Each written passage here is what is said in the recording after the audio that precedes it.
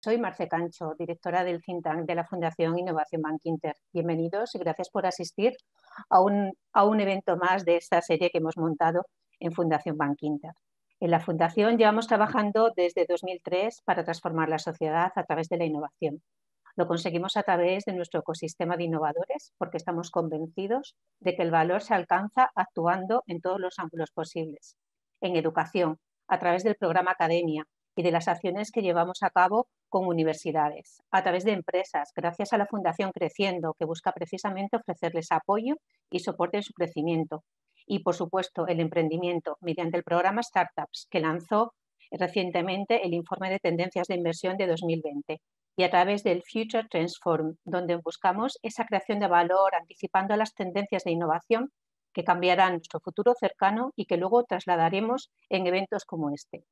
Celebramos este encuentro con motivo del lanzamiento del último informe de nuestro foro de expertos eh, sobre confianza en la era digital y que podéis encontrar en nuestra página web junto con la agenda de esta serie de eventos. El informe pone el foco en una cuestión tan esencial como la confianza y plantea los principales desafíos que afrontan entidades públicas y privadas a la hora de recuperarla. Y es además también el tema central de nuestros eventos, la reconstrucción de la confianza.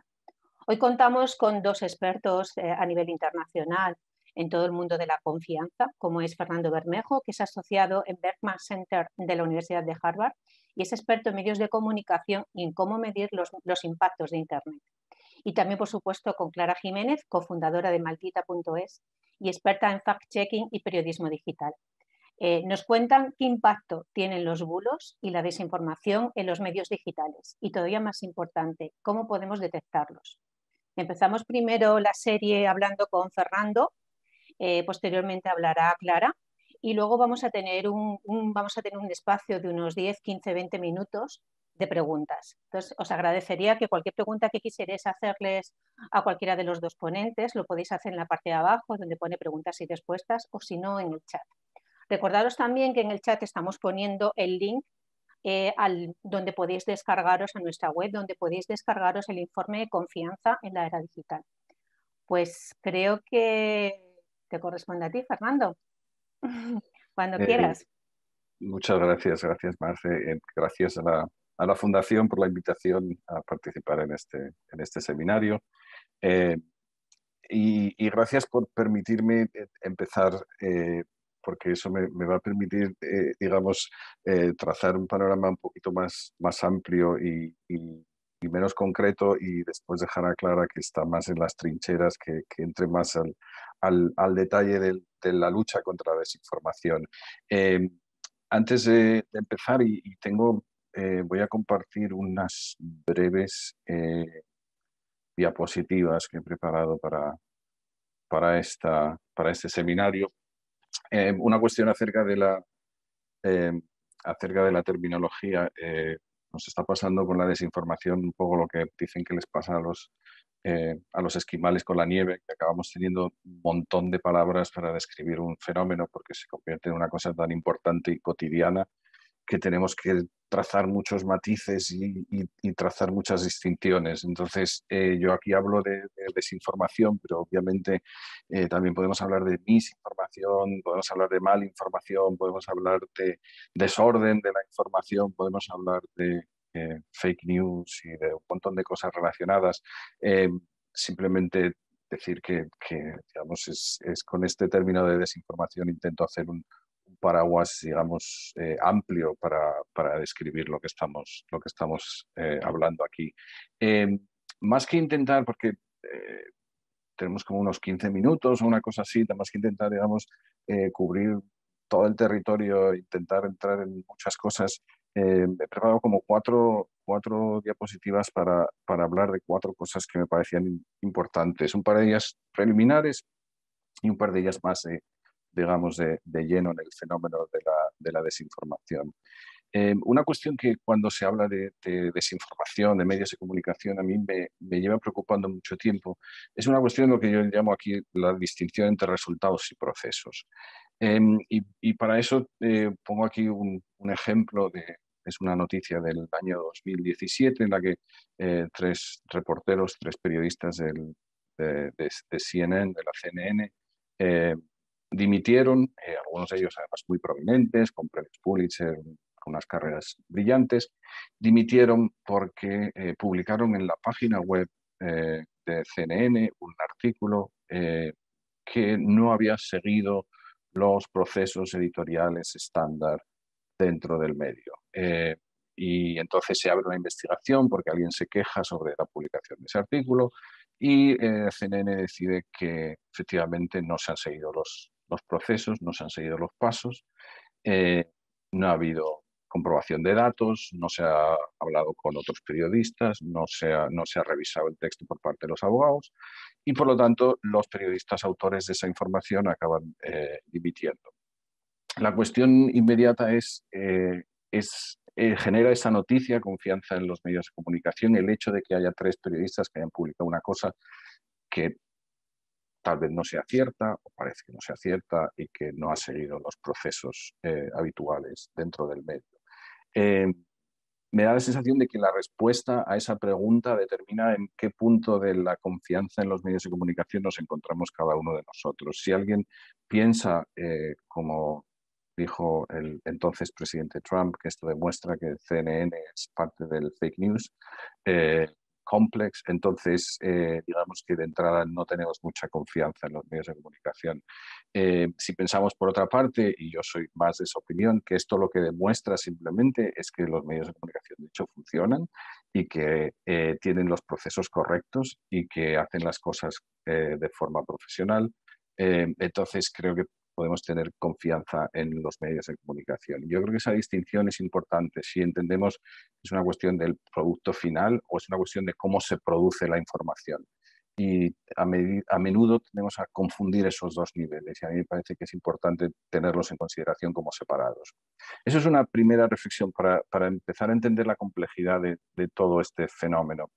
Eh, la otra, y esta la ilustro con una, con una nota del diario.es en la que habla de la confianza en los medios de, comunicación y, presento unos datos del eh, Reuters Institute eh, para el estudio del periodismo, em, en el que habla de la evolución de la confianza en las noticias.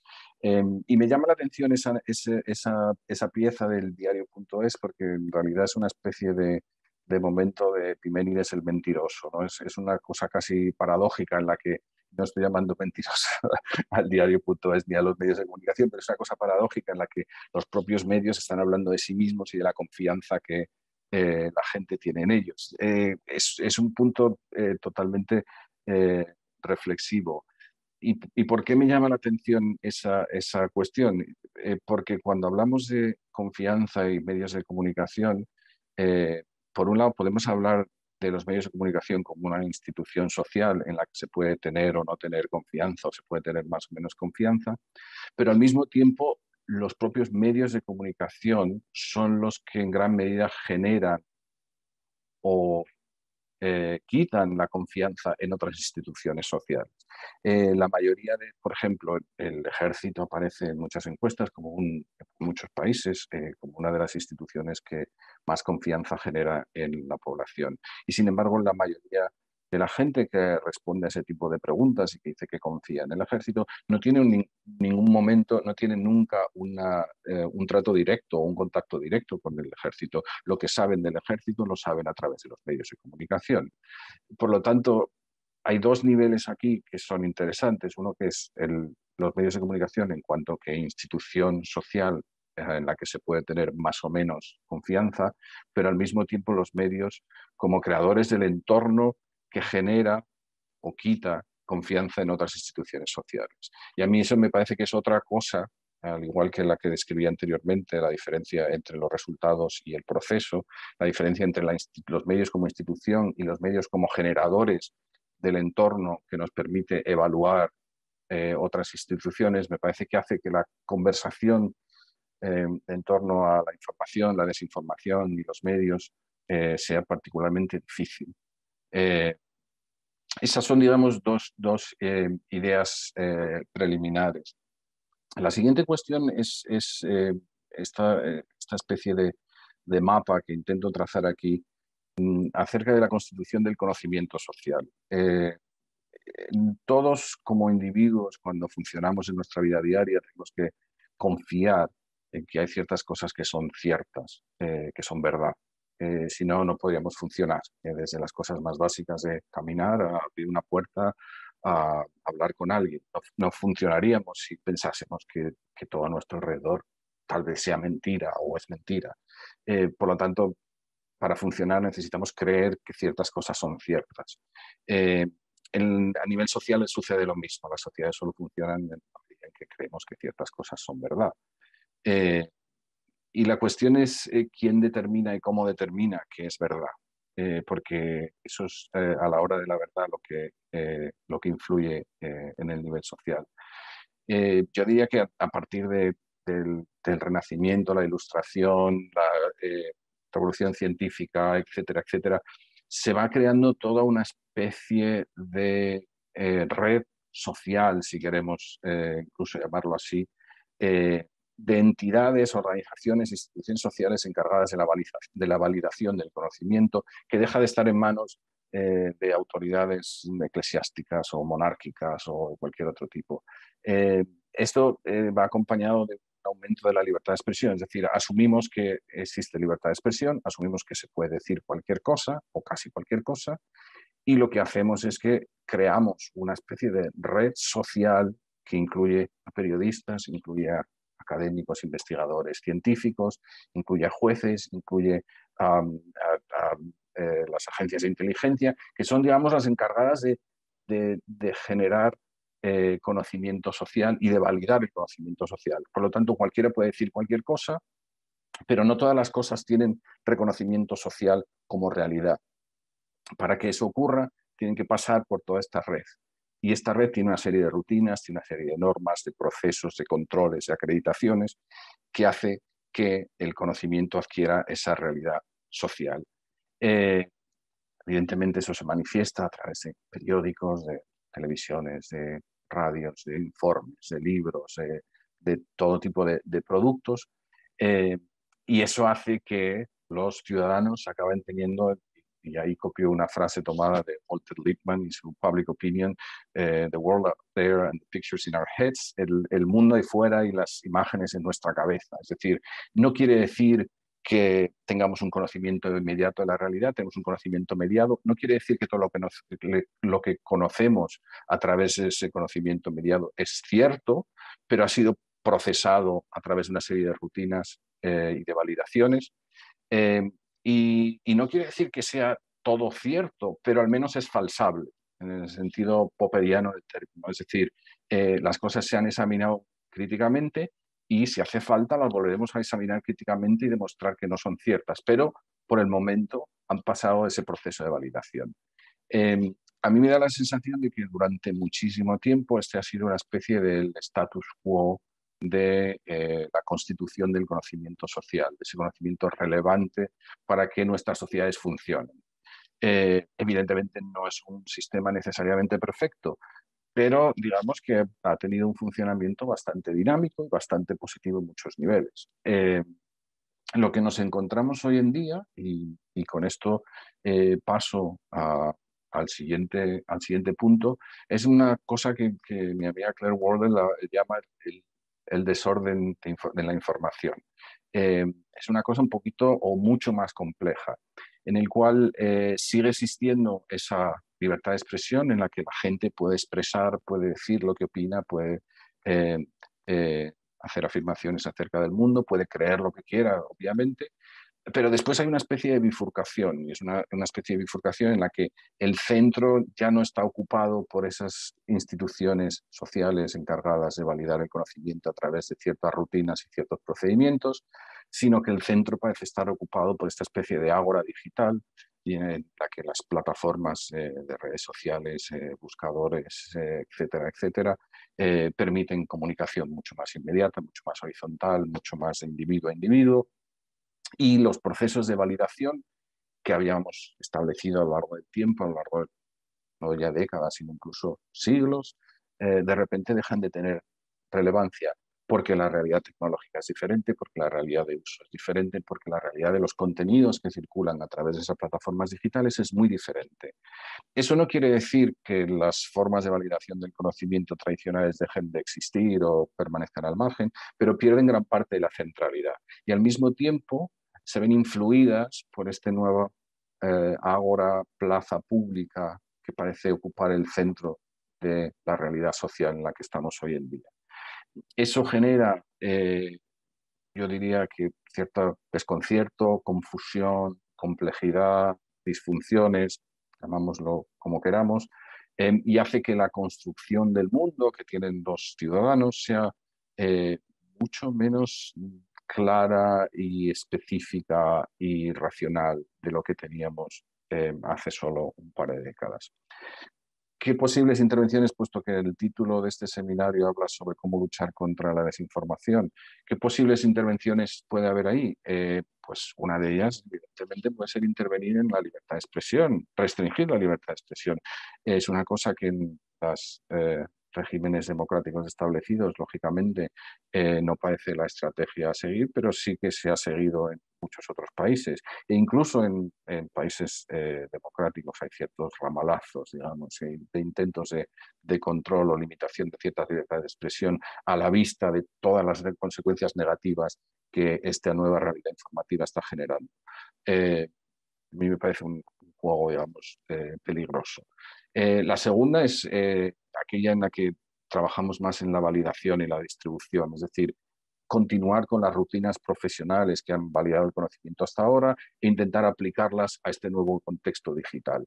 Eh, evidentemente no es fácil por el volumen de información, por la capacidad de reproducción y de difusión de la desinformación, pero digamos que ahí es un trabajo en el que moderación de contenidos, fact-checking, como lo que trabaja el, trabajo que hace Clara, eh, rutinas profesionales periodísticas, etcétera, etcétera, intentar, digamos, que ese conocimiento que se genera a través de estas nuevas plataformas digitales pase por el mismo tamiz o parecido tamiz, lógicamente con adaptaciones, al que ha pasado eh, durante décadas y siglos hasta ahora.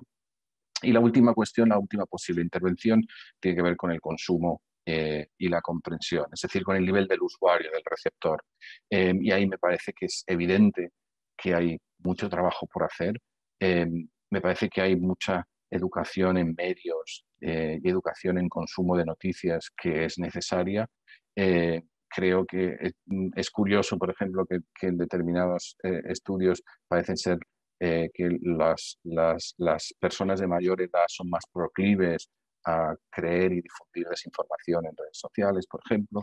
Em, entonces, me da la sensación de que hay todo un proceso de adaptación cómo interpretamos aquello que recibimos a través de estas plataformas, que a veces tiene eh, una pátina, una especie de formato que parece recordarnos a los medios de comunicación, digamos, de toda la vida con sus rutinas profesionales, pero que no deja de ser simplemente una cuestión de formato, que a la hora de la verdad el contenido y las rutinas de producción son completamente diferentes y resulta difícil distinguir una cosa de la otra. Entonces, en ese terreno parece que todavía nos queda muchísimo trabajo y muchísimo camino por andar. Eh, lo dejo ahí, doy paso a Clara y estoy a la espera de preguntas y comentarios. Muchísimas gracias. Muchísimas gracias, Fernando. os recuerdo que en la parte de abajo de preguntas y respuestas podéis ir planteando las preguntas que queráis hacer eh, luego en el debate cuando termine Clara con su intervención. Eh, Clara, es, tu turno. Muchísimas gracias. En realidad hay cosas que os voy a contar que se parecen mucho a lo que ha contado Fernando, em, porque al final tenemos todos un poco una misma filosofía cuando miramos esto. ¿no? Me ha hecho mucha ilusión que Fernando aludiera a Claire Wardell, que es la directora de First Draft, una tipa a la que yo admiro muchísimo y con la que he aprendido mucho a lo largo de estos años. Por ubicarnos un pelín, eh, Maldita.es es una fundación, es un medio independiente sin ánimo de lucro y copyleft, que significa que cualquiera puede replicar los contenidos que nosotros hacemos porque el fin de esta fundación es que la lucha contra la desinformación llegue cuanto más lejos posible y por lo tanto todos nuestros contenidos están abiertos para que cualquiera los pueda usar. Hacemos lo que en inglés se llama fact-checking, en castellano se llama verificación y en malditismo, que a veces es un idioma propio, se llama periodismo para que no te la cuelen y monitorizamos el discurso público y político con el fin de encontrar las mentiras y dotar de las herramientas necesarias a los ciudadanos para que aprendan a identificarlas. Que es un poco, si os fijáis, esa filosofía que recogía al final Fernando de hay que aprender a identificar la desinformación, hay que formar a la gente para volver a consumir y en esas es en lo que está en parte maldita desde su nacimiento. Nos dividimos en diferentes productos, eh, sí, productos nicho, ahí, ahí tenéis eh, los más conocidos. Y este es el equipazo de maldita.es y siempre lo enseño cuando doy una charla porque parece que yo soy la cara de maldita, la que sale en la tele, la que eh, suele dar las conferencias, pero la realidad es que sin este equipo maldita no se hace cada día y yo no valgo nada, así que me parece que también es importante ponerlo en valor. Nos dedicamos a hacer periodismo, el periodismo que yo concibo como datos y hechos contrastados y, muchas veces se debate ¿no? si el fact-checking es o no es periodismo, si las columnas de opinión son o no son periodismo. Bueno, cada uno tenemos una postura ahí. Para mí el periodismo son datos y hechos contrastados y lo demás son otros géneros. Em, y eh, a, eso nos dedicamos ¿no? en Maldita. Una cosa que eh, me dijeron, bueno, la gente que viene a estas charlas es público general que está interesado en el tema. Entonces hay una cosa que sí que me parece que es importante incidir, que es de qué hablamos cuando hablamos de bulos o de desinformación y por qué no hablamos de noticias falsas y no hablamos de fake news.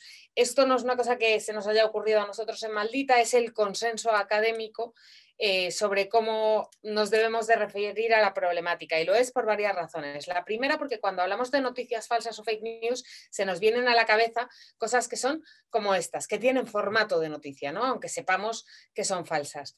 Y sin embargo, cuando nos queremos referir a los bulos y a la desinformación que consumimos hoy en día en redes sociales, estamos también hablando de todas estas cosas, de los memes, de los tweets falsos, de las cadenas de WhatsApp, de los posts de Facebook. Desinformación es una caja en la que nos caben todas estas referencias. En noticias falsas no, porque pensamos directamente en ese formato de noticia, pero hay más razones.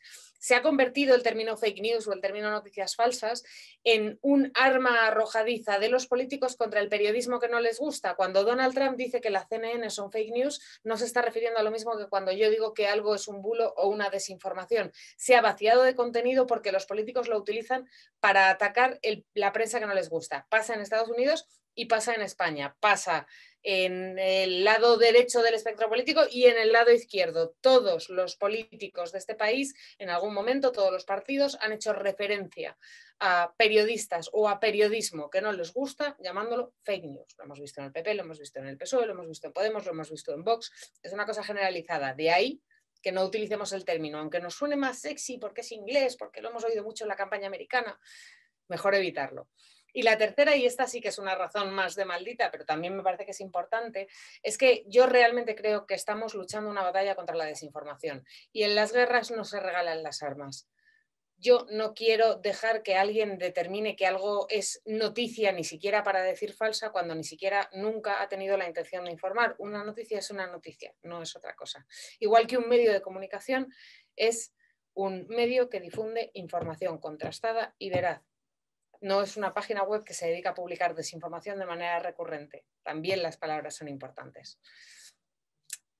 Cuando hablamos de de desinformación muchas veces, y me pasa mucho con los periodistas especialmente, tendemos a pensar que bueno, que no hay tanta desinformación, que no es la realidad de la población. Nosotros cuando empezamos a hacer maldita.es nos dimos cuenta de que había dos niveles de conversación muy diferenciados también en el ámbito mediático. ¿no? Estaba lo que llamamos el mundo Twitter, donde están los periodistas, los políticos, los ciudadanos muy informados, em, y luego está el resto de la conversación. Está el día a día de las personas que no consumen medios de comunicación de manera eh, recurrente, que no se ponen el informativo todos los días, que trabajan 12 horas al día em, y cuando llegan a casa tienen mil preocupaciones de las que ocuparse que no entrañan enterarse de las noticias. Y eso ha cambiado un poco el paradigma en el que nos movemos cuando tenemos que dirigirnos a los ciudadanos. Nosotros nos dimos cuenta de que eh, habitualmente los periodistas tendíamos a decidir cuál era nuestra agenda informativa fijándonos en lo que se movía en Twitter cuando queríamos como integrar la conversación social y rápidamente nos dimos cuenta de que ahí en realidad no estaba la mayor parte de la población en nuestro país. Al final en Twitter en 2019 había 4,4 millones de usuarios. Creo que debemos andar como por los 6 millones y medio, 7 ahora en 2020, pero aún así sigue siendo muy poco comparado con lugares como WhatsApp. En España hay 30,5 millones de usuarios, creo que ya estamos en los 34 en 2020, y eh, lo que nos dicen los estudios académicos, por ejemplo, es que el 36% de la población española, el 34% en 2020, voy actualizando datos que los tengo en la cabeza del, del, año anterior, consume información a través de WhatsApp. Y eso significa que cuando pensamos en dónde puede estar fluctuando la desinformación, a lo mejor no nos tenemos que fijar tanto en Twitter e irnos a lugares como WhatsApp. Eso fue lo que hicimos en Maldita cuando empezamos y nos dimos cuenta de que cuando escuchábamos la conversación, esa de abajo que os ponía en la anterior diapositiva, en WhatsApp, nos encontrábamos cosas Em, que probablemente como periodistas nunca hubiéramos valorado que era necesario desmentir.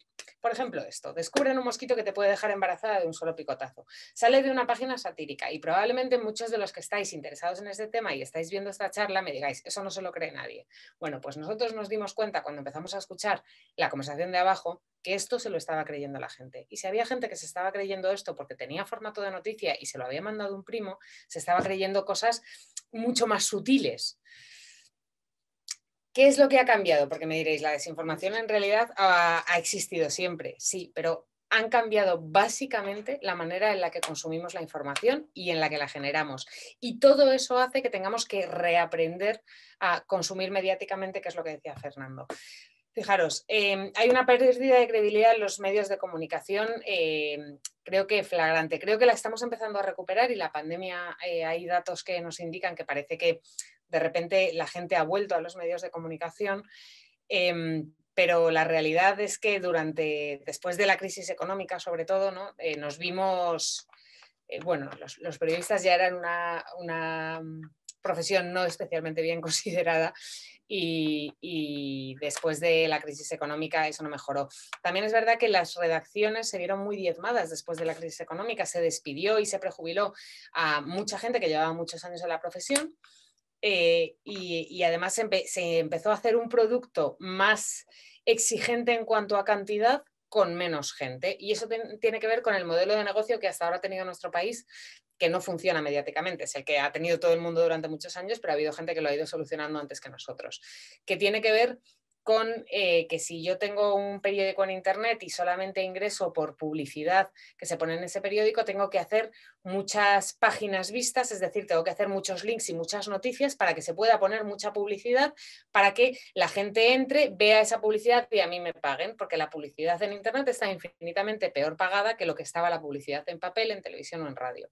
Y eso también ha influido en que las redacciones tengan a gente más junior, menos formada, que encima, en lugar de hacer dos noticias, como hacía a lo mejor cuando se hacía un periódico en papel, tiene que hacer 12 al día. Y 12 noticias al día, ya te digo yo que no las verificas igual de bien que dos.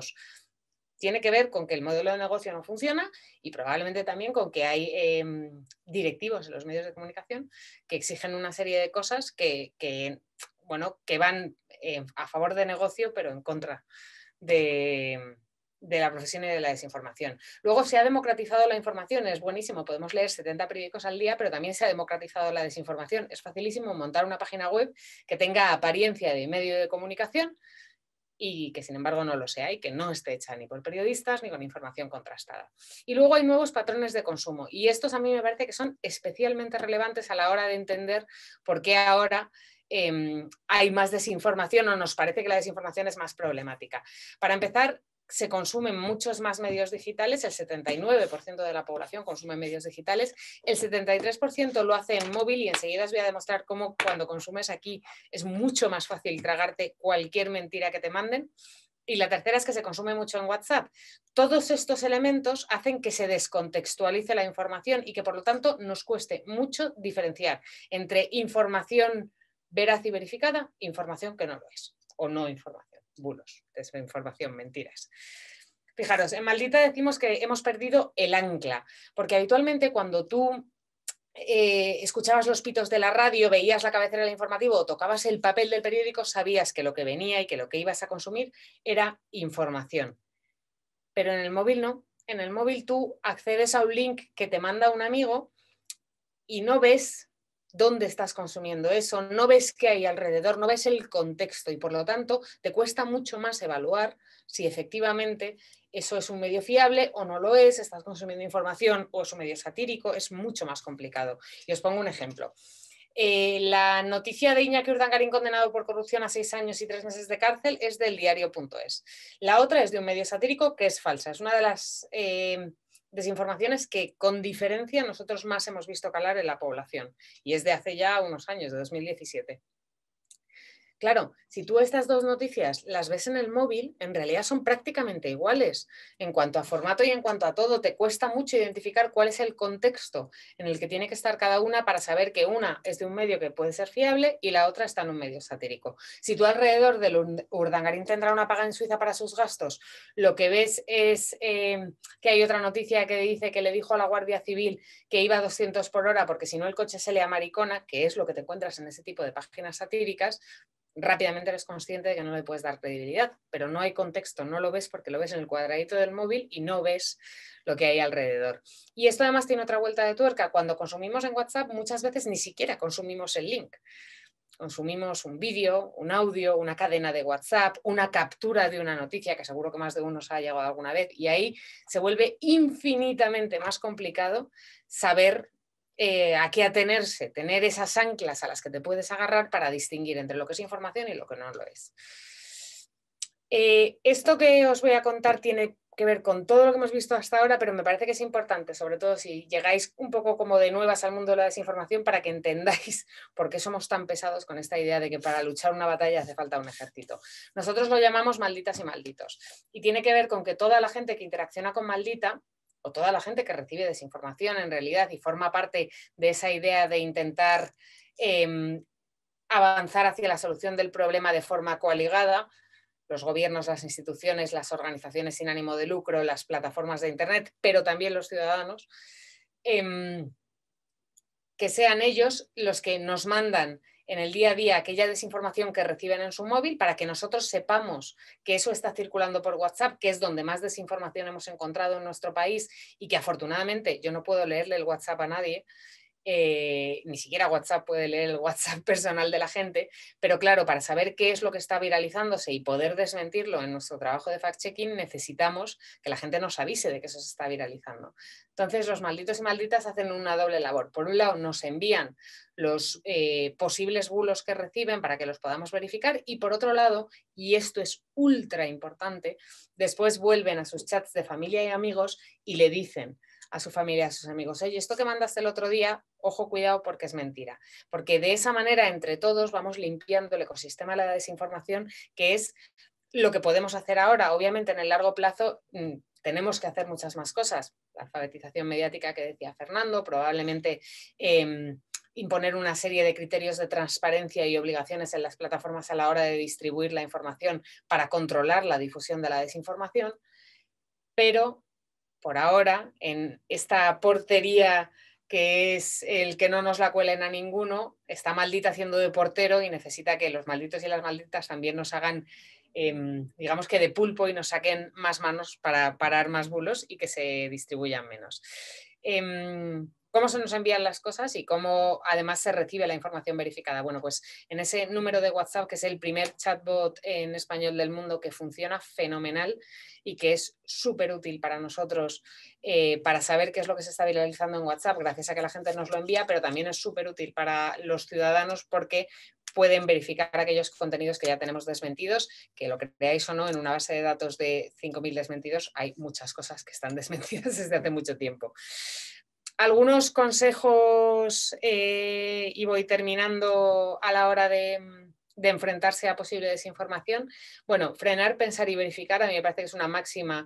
A ti en cuanto te envían algo, em, si tú te paras ocho segundos y, y, lo analizas, estoy casi convencida de que al final no se lo vas a enviar a nadie de vuelta y como mucho al chatbot de maldita para saber si es verdad o mentira. Pero Em, todo empieza en esta vida por uno mismo y no compartir aquello que no se está seguro de que sea real tiene que ser una máxima para que podamos superar eh, esta batalla contra la desinformación que estamos librando. Y luego algunos consejos, por ejemplo, fijarse en quién lo publica, conoces al medio, tienes la fuente de cuál es el origen de eso. Si no la tienes, yo desconfiaría de entrada porque no suele ser muy real. A veces sí, pero ya tiene que ser un primer motivo para la sospecha. No te quedes nunca en el titular. Esto lo vemos como una estrategia de desinformación continua desde hace años. Un titular que es mentira y que luego dentro de la pieza se explica que el titular es mentira. Lo utilizan lo que nosotros llamamos los malos para desinformar, pero también tiene que ver un poco con esa idea de el modelo de negocio no funciona y poner un titular sexy hace que la gente entre, que la publicidad se nos vea, que eso se archive. Eh, más cosas, las citas falsas. Seguro que se ha llegado alguna vez más de un meme eh, de un político que supuestamente ha dicho una barra basada y que simplemente pone la frase del político y su foto. Ni caso. Suelen ser mentira. Fuente, fecha, dónde lo dijo, cuándo lo dijo. Tenemos que tener ese tipo de cosas. Y ante la duda, rápidamente, en Google, fulanito, frase. Y te saldrá o el desmentido habitualmente o el origen, y entonces podrás corroborar que tiene una fuente fiable. Plantearnos que las cosas a lo mejor pueden ser humor. Eh, una de las cosas buenas y malas de las redes sociales em, es que hay mucho humor eh, y, a veces ese humor no lo pillamos y tiene un poco que ver con ese no, no ver el tono y no ver los contextos en los que algo se puede estar diciendo a veces nos encontramos con desinformación que la gente se está tragando y que en realidad parten de una página satírica, por ejemplo, lo que os he puesto antes del mosquito que te deja embarazada de un solo picotazo. Y luego hay que tener mucho cuidado en los momentos de máxima tensión, de alerta, de emergencia. En general ahí los bulos fluctúan a una velocidad brutal y, hay que tener un poco de ojo porque mm, más allá de las fuentes oficiales, en situaciones de alerta o de emergencia, mejor pongámoslo casi todo en cuarentena un par de cosas más. Las motivaciones para poner en circulación desinformación. Yo diría que hay tres.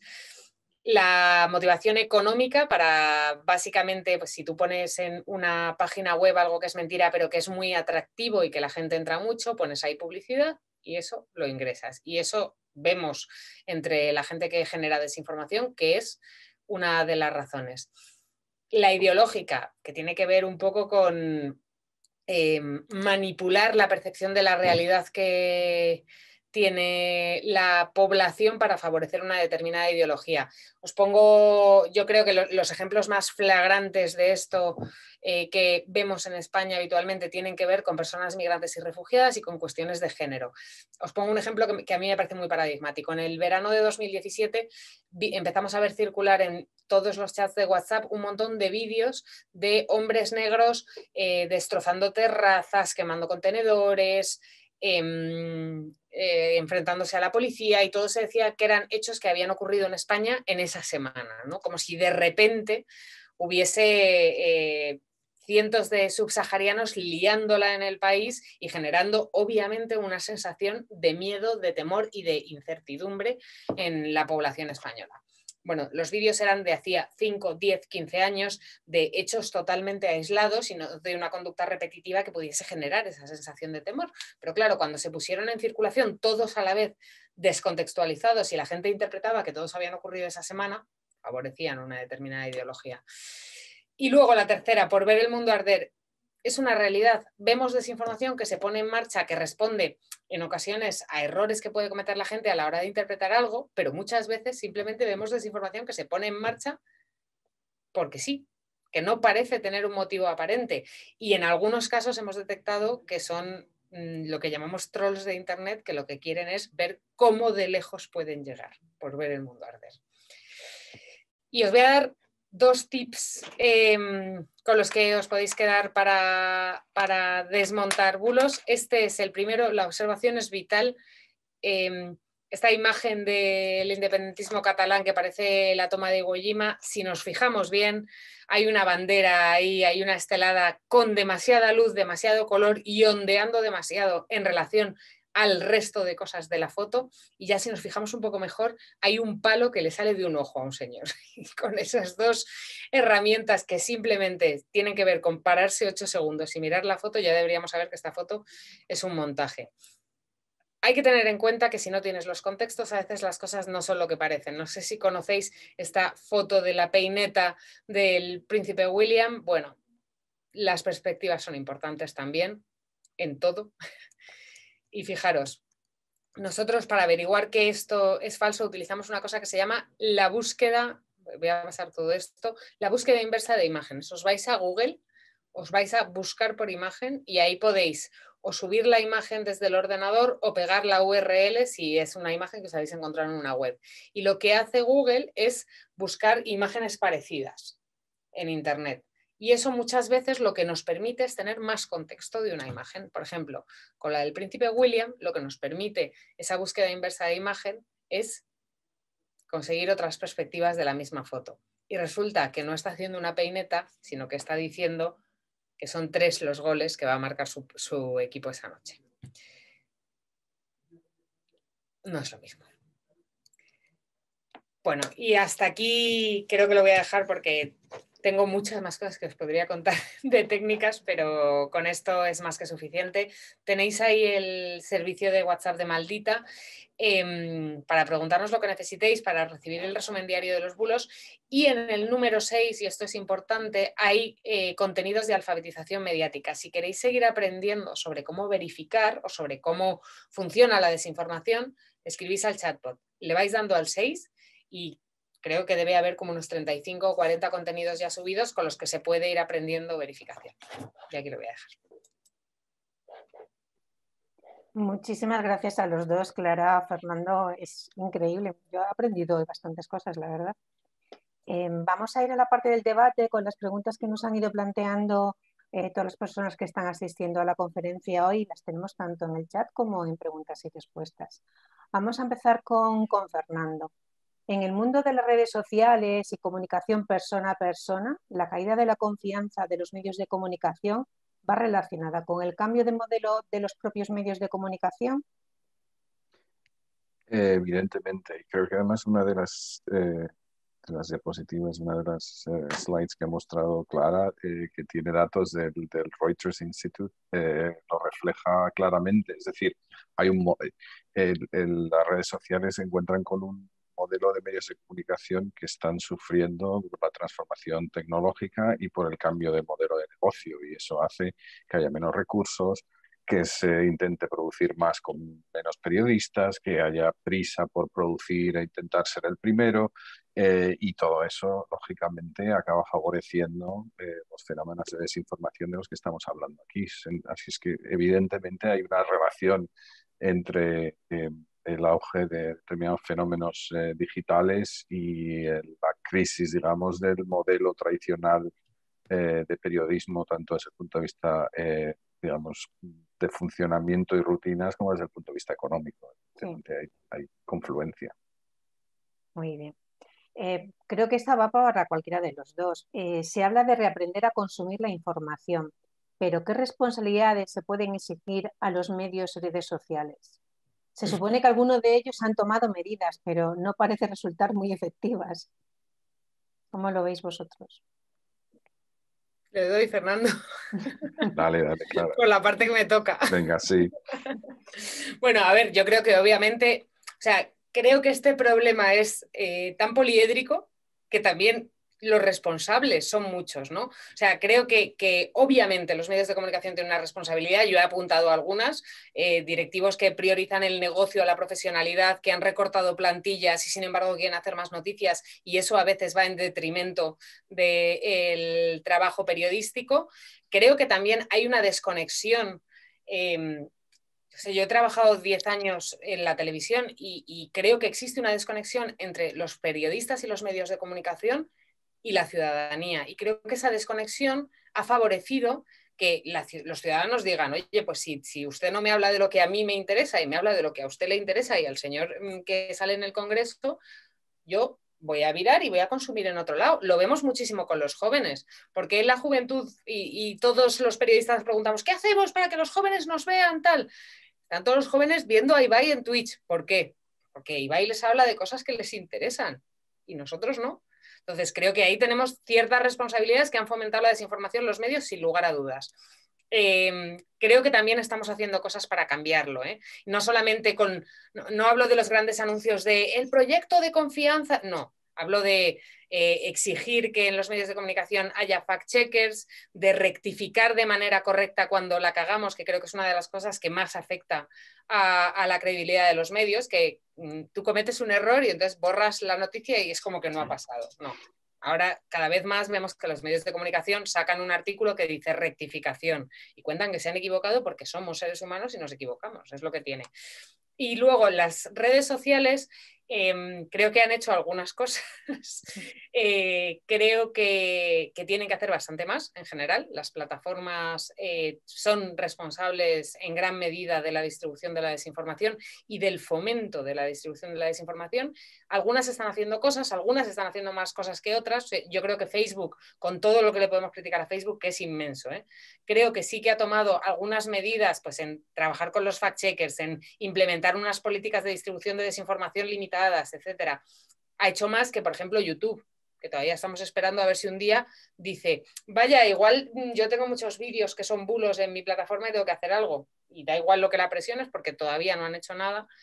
Entonces, creo que hay alguna cosa que han hecho, creo que les falta todavía mucho por hacer y que, y que al final acabarán siendo instituciones como la Unión Europea que les acabe obligando a hacer determinadas cosas, de impedir que se ponga publicidad en contenidos, por ejemplo, relacionados con salud, eh, de fiscalizar mucho más la publicidad que hacen los partidos políticos y sobre todo los eh, aliados de los partidos políticos que no necesariamente eh, son los partidos per se, sino la gente que le paga la publicidad ideológica a los partidos políticos por detrás y que no está identificada como anunciante político, en fin, creo que nos queda mucho camino, pero también creo que hay que admitir que este es un problema complejísimo, muy nuevo, que cambia cada día, o sea, es que la cosa no es fácil, o sea, ¿falta mucho por hacer? Sí, ¿hay que hacer mayores esfuerzos? Sí.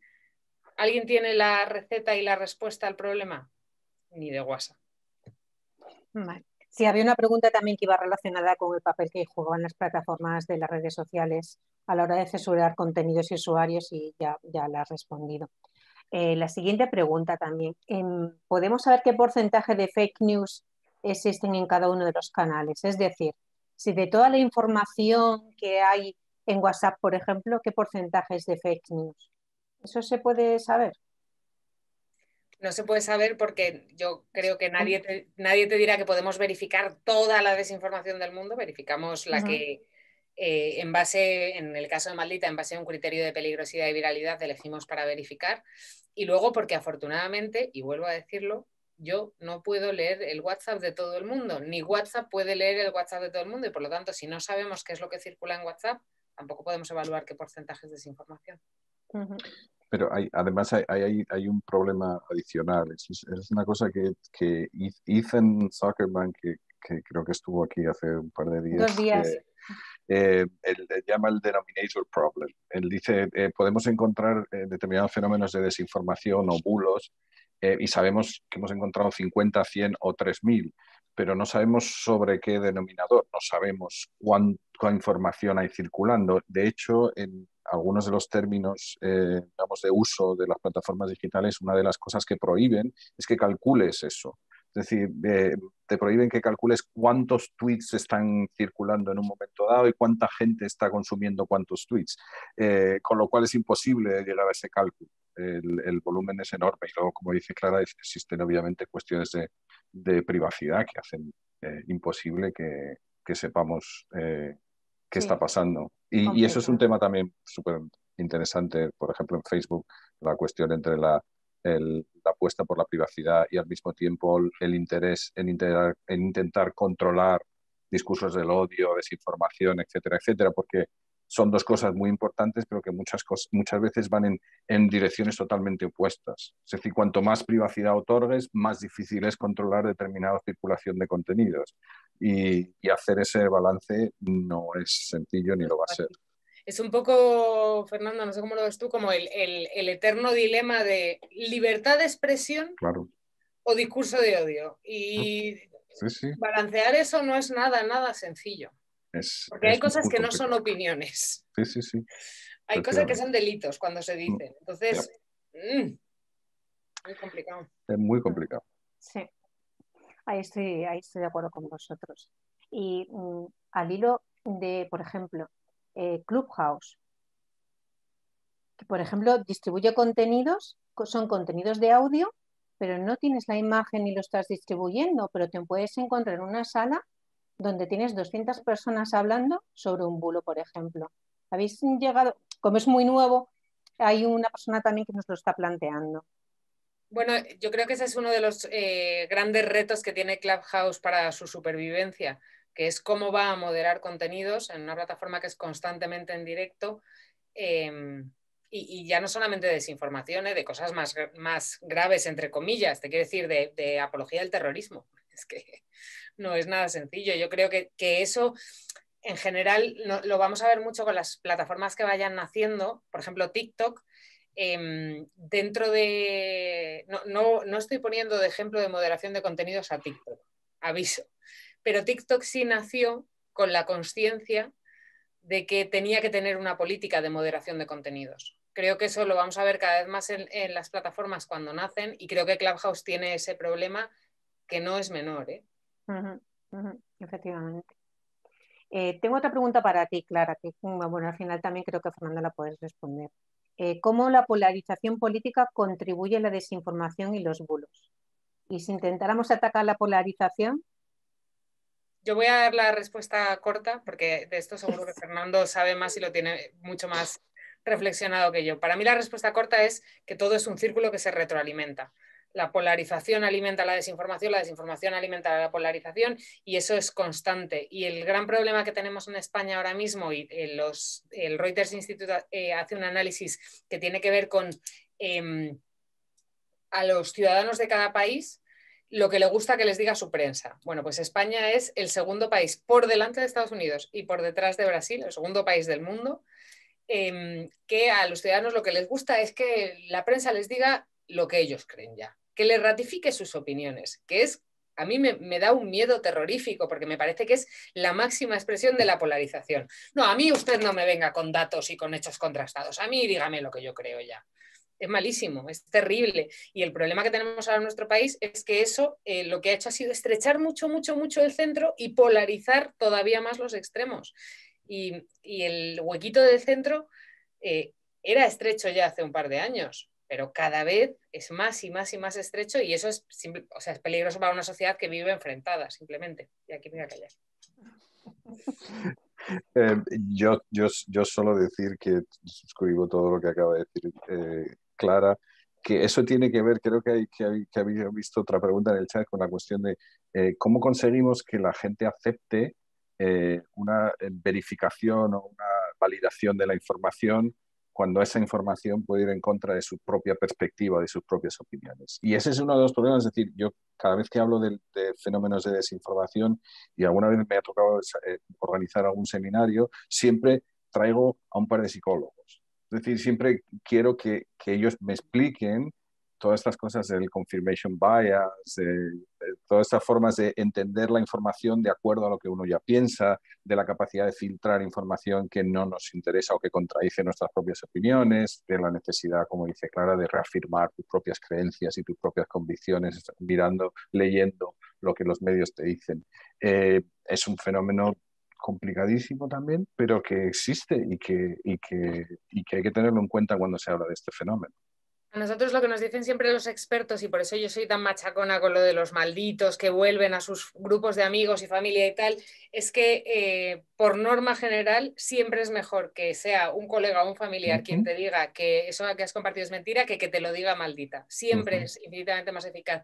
Hay una cosa que a mí eh, siempre me llama mucho la atención que nos ha pasado, sobre todo en los tiempos de mayor em, desinformación eh, sobre la crisis catalana, que era como la gente, me vale para ambos lados, ¿eh? pero o sea, la gente con la banderita de España o la gente con el lazo amarillo en Twitter le iba a otro y le, y le pegaba los desmentidos, ¿no? Y le decía a alguien de los suyos, oye, que esto que acabas de compartir es mentira. Creo que eso es infinitamente más eficaz que, siete campañas del gobierno intentando desmontar los bulos de un lado o de otro. Eh, siguiente pregunta para Clara. Me comenta una persona que que supone que habrá habido casos de noticias que pensabais que eran falsas y luego resultaron ser ciertas. Eh, ¿Tenéis algún rato de eficiencia en este sentido? Tengo ahí, o sea, Voy a intentar contestarlo por dos vías. Por un lado, nosotros lo que tenemos es una metodología a la hora de verificar y entonces, em, o sea, nos equivocamos y ahora te voy a demostrar que nos equivocamos y además somos muy transparentes cuando lo hacemos, pero nos equivocamos poco porque cada vez que vamos a desmentir algo, se le asigna un redactor, el redactor lo coge, eh, hace todas las comprobaciones pertinentes y luego hay ocho editores senior que revisan ese trabajo, que vuelven a hacer las comprobaciones, que si se ha hecho un análisis forense de imagen, lo repiten. Si se ha hecho una búsqueda, la vuelven a hacer, preguntan, oye, has llamado a no sé dónde, has mirado esta ley, has hecho tal hay una doble comprobación muy, muy dura y luego encima votamos y cuatro de esos redactores senior tienen que estar a favor de que ese desmentido salga y ninguno en contra para que un desmentido salga publicado. O sea que hay, como mucho trabajo de edición detrás. Pero nos equivocamos, sí.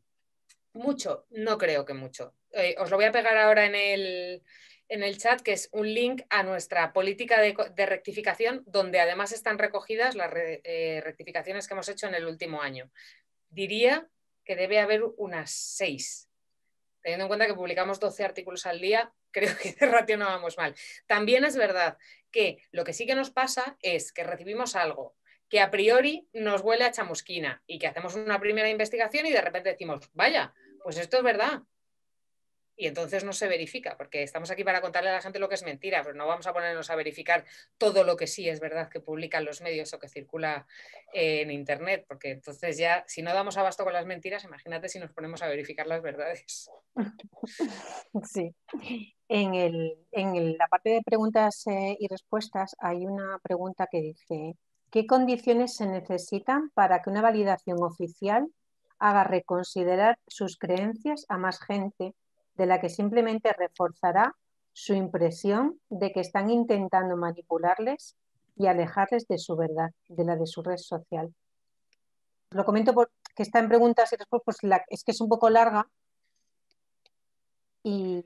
Sí, y, yo creo que, que, eso es precisamente lo que estaba diciendo eh, Clara ahora, ¿no? Esa, esa, idea de que, por ejemplo, es, es, mucho más efectivo si esa validación viene de alguien próximo, ¿no? Que no viene de una entidad externa, sino que es alguien de tu propio círculo con quien compartes una visión del mundo, una ideología, una relación.